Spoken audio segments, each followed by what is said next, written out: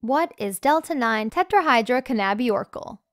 THC-C1 is a non-electrophilic delta 9 tetrahydrocannabinol derivative that stems from the CBN and CBGV compounds. Aside from its chemical structure and some expected abilities, we have no specific information on this compound. The cannabis plant generally has compounds that are beneficial to human health. THC-C1 is one of the discoveries since 1940 when British chemist Robert Cahn reported the partial structure of cannabinol. Some researchers have since then, over decades, been looking into the cannabis plant for its functions and benefits. THCC1 was discovered alongside other compounds of CBD, CBC, CBG, and CBN discovered during that research.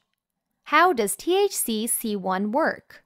THC works with cannabinoid receptors in the body by binding with them in the brain and nervous system where they are found. THC stays longer in the body than most other drug substances, which only last for a few hours. THCC1 is expected to work the same way, seeing that it's an antinociceptive compound. We expect it to bind with receptors in the human body as well. Although there's currently no research to prove this, we can only speculate and assume owing to its similarity to THC and CBN.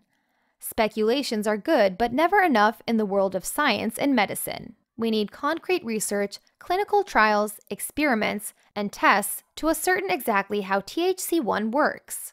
Interesting facts. It has a molar mass of 258.35 grams per molecule. Its molecular structure is C17H22O2.